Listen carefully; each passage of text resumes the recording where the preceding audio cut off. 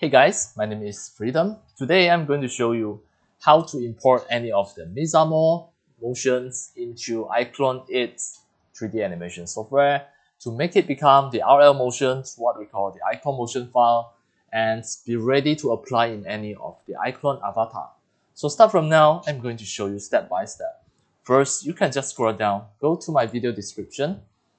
Here I have a link for you to enter the Mixamo. Just have a click. You will enter the Mixamo website. Right. Right. You must make sure you log in your Mixamo by using your Gmail account or Google account or any other methods just to make sure you log in. Next, go to the character. In the character, you scroll down, click the third page, then click the export to make sure you have the export. And then next, click download and click download. Here, this is the T-pose, you click download. Right, after you download it, it will be in your download folder. Just right click here.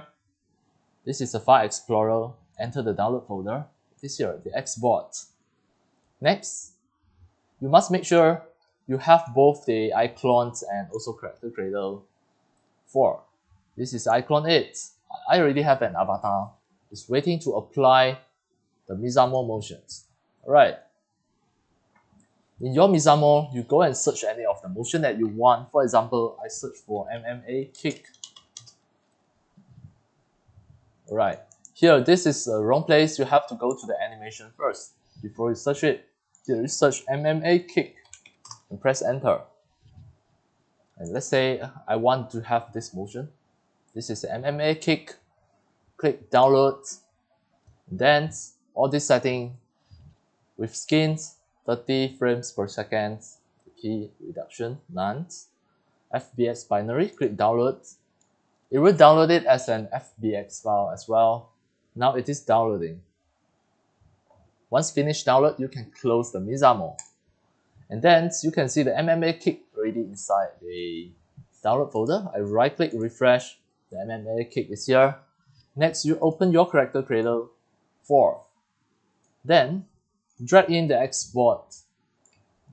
Choose character, non, non-human, humanoid.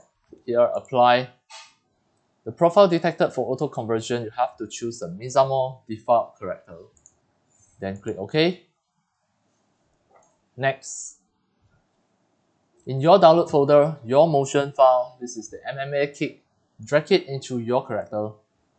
And then the motion profile, you, you must make sure it is current character auto-generate to perform list, you click convert all, tick both, and then click proceed. Next, export it as iAvatar. Click file, export as iAvatar. Export it, export it on my desktop. This is export. This is export with MMA kick. Then click save. Now it already become an iAvatar so next we are going to export export the motion from there. So just have a look. Drag in drag in the iAvatar into iClone. Right click it, choose the perform, and then you have the you have the perform list. For example, MMA kick mixamo.com. Alright. Next, in your iClone 7, click here to look at the timeline. You scroll down once you already selected this avatar, you should be able to see the, the motions, Mixamo Kick, the MMA Kick Mixamo.com. You right click it. Then you can save it. So here you have to find save motion clip to save. As demo, I'm going to save it on my desktop and I will just name this as MMA Kick.